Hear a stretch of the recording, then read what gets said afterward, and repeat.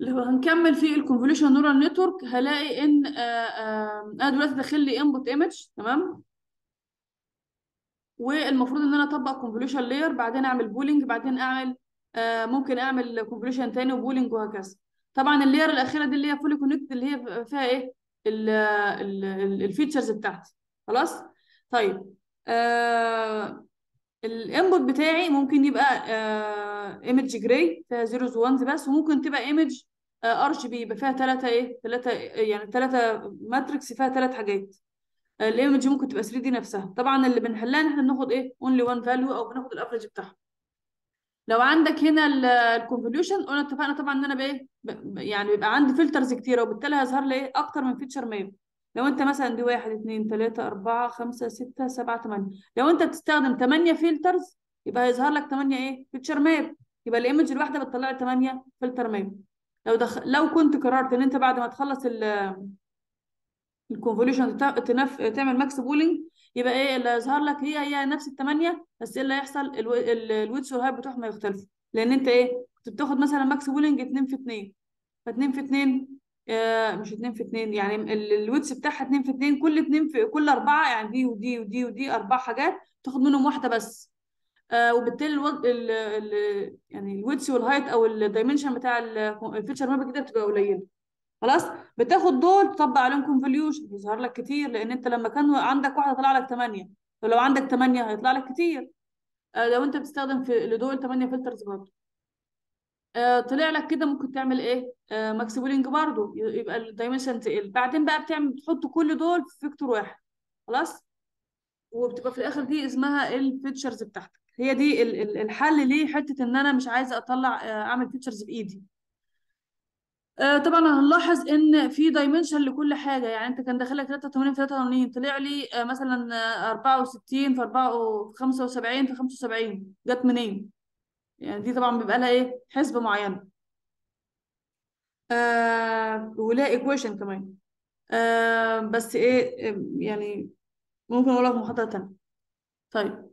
آم، يعني في الآخر أنا هستخدم آه، آه، هل أنا مست... دلوقتي في convolution max pooling convolution max pooling المفروض إن أنا أستخدم كام convolution وكام max pooling أو أو هل لازم كل convolution بعدها max pooling ممكن أعمل convolution convolution convolution بعدين max pooling آه مفيش إيه؟ مفيش أي restriction وممكن ما استخدمش max pooling خالص. وبيكون مصلحتك أنت بس إن أنت إيه تقلل ال dimensions وبالتالي توصل ل features قليلة ما توصلش بقى لملايين ال features فدي ال convolution neural network و في حاجات في architectures مشهورة CNN أو convolution neural network أيوه. لو أنت بتستخدم image processing في حاجات اسمها في VGG 16 ده architecture بيقول لك إن أنت هنستخدم 16 layer واحد بس خلينا مثلا دلوقتي آه، على سبيل بس الشرح واحد اتنين تلاتة أربعة. دول أربعة. يبقى أنا استخدمت أربعة layers فاهمني؟ آه في بقى ال VGG 16 يقول لك أنت هنستخدم 16 هو لقى إن التعامل مع ال image ب- بشكل معين لازم ال architecture ده. ال ال ليه؟ ما ملوش ملوش تفسير. ولكن هو عمل test على data كتير لقى إن كل ما زودنا ال layers كل ما يبقى أفضل. خلاص؟ كل ما زودنا ال layers اللي لغايه ما وصلنا 16 يعني. كل ما يبقى إيه؟ أفضل. فدي آه، معلومة. طيب آه آه طيب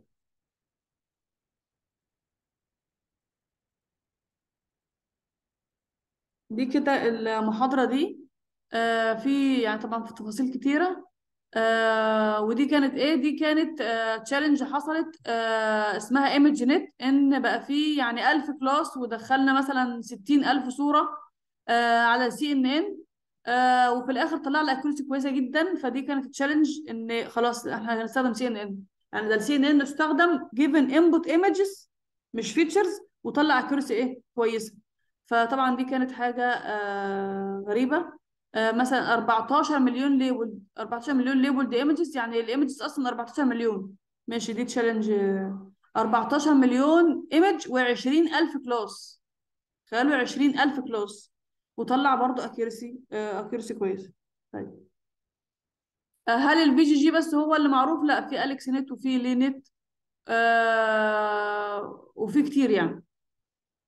طيب كل واحد فيهم طبعا له architecture مختلف وكل واحد فيهم بيستخدم في fields بس إحنا الأهم بالنسبة لنا هو ال VGG لأن هو بيستخدم مع ال images وأي حد بيتعامل في machine learning لازم يعدي على ال images الأول. طيب. آه، إيه اللي إيه اللي أنتوا شايفينه ده؟ دي ال feature map فاكرين لما قلنا يبقى دخل لي image وأدخلها وطلع لي feature map دي ال feature map feature map feature map feature maps كتيرة. آه في الآخر بيطلع لي ال ال given دي لو عملت لها في الآخر flatten على انها تبقى feature واحدة أو أو يبقى عندي قصدي vector فيه features كتيرة بيكون دي representative features آه في بقى بيقول لك إن ال image مثلا rotated ال image فيها edges ال image مش عارف إيه فبيطلع لك حاجات سكريبت مش عارفة إيه ثواني.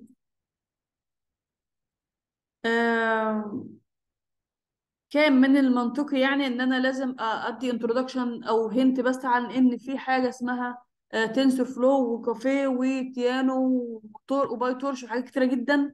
دول إيه؟ دول عبارة عن architectures مشهورة خاصة بال deep learning عايز تشتغل deep learning ما تبدأش منك لنفسك وتبدأ كل حاجة من الأول. في frameworks مشهورة آه، مجهزة لك ال functions ال built in يعني مثلا لو قلت لك اعمل لي convolution هتبدأ تعمل function def دي وتجمع مش عارف إيه. طب اعمل لي مش عارف إيه هتقعد تعملها بإيديك. فال frameworks دي عاملة كل حاجة جاهزة. انت بس بت إيه بت- بتدخلها ال input وتقول لها أنا عايز كام layer بتعمل إيه؟ ال ال يعني مثلا في layer اسمها conv 2D بتناديها كذا مرة بس. يبقى أنت كده عملت إيه؟ أكتر من layer convolution خلاص؟ بتديها بس ال parameter عايز أنت تعمل فلتر كام في كام. فهي دي فكرة ال framework. آه حاجات مشهورة جدا. نبقى نشوف يعني ممكن ناخدها في المعمل على حسب وقت بس ال term. لكن هي طبعا أكيد هتتاخد في كورسات تانية آه machine learning طيب ده ال convolution neural network أتمنى إن أنا أكون آه، يعني إديته آه، بشكل واضح. آه، إيه الفرق بين ال CNN وال traditional neural network إيه الثلاثه إيه الثلاثه مين architecture الثلاثه مين layers في ال convolution neural network إيه هي ال deep learning architectures المشهورة؟ عندنا CNN و RNN وال GAN وال autoencoder والحاجات التانية طبعا. ال convolution بيتعمل إزاي؟ وال max pooling بيتعمل إزاي؟ بعد ما بخلص اتنين بعمل إيه؟ آه والمفروض بعد ما عملت بعد ما عملت كده ال output بتاعي بيبقى اسمه إيه؟ بيبقى عبارة عن ال features 1D vector أو vector 1 dimension وبيبقى إيه؟ آه بي represent ال features بعد ما بتبقى تجيب ال features ممكن تعمل أي حاجة بقى. ممكن تعمل أي classification algorithm أو ممكن تعمل آه يعني activation layer على طول مش لازم تدخل KNN أو SVM أو أي حاجة. ال input ال CNN ممكن تدخل لها أكتر من input ممكن يبقى 1D أو 2D أو 3D. آه لو هي image أو حاجة دخلت لك يعني image مثلا بتطبق عليها convolution ال output بيبقى اسمه feature map وال output بيكون أقل من ال input آه عشان أنت طبعا بتشيل ثلاثة وتحط لهم قيمة واحدة. وكذلك في الايه في ال pooling آه ال length بعد كده بيبقى قليل. أتمنى بس إن أنا يعني مثلا كده قلتها بسرعة يعني لكن هي أصلا فيها تفاصيل كتيرة جدا آه بس مش هيبقى لها معنى إلا لما ناخدها عملي تشتغل عليها. فأتمنى أشوف وقت إن شاء الله ونعملها. ده بس بالنسبة لل session دي أو sorry لل- للمحاضرة دي. آه، هل في حد عنده سؤال؟ آه، تمام يا دكتور أنا أنا أنا أنا حاسة إن أنا يعني هي واضحة ولا أنا بادئة ب high level أو عاملة حاجة يعني الدنيا واضحة؟ متخيلين بس ممكن يبقى الدنيا أبسط إزاي لو ما اعتمدناش على ال features؟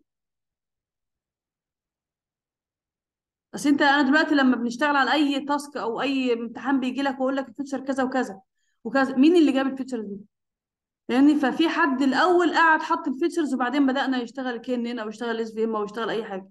فلو إحنا عايزين آه، ال step دي كمان ما تتعملش هي دي ال deep learning طبعا هو يفضل. ليه بقى؟ ليه بقى يفضل؟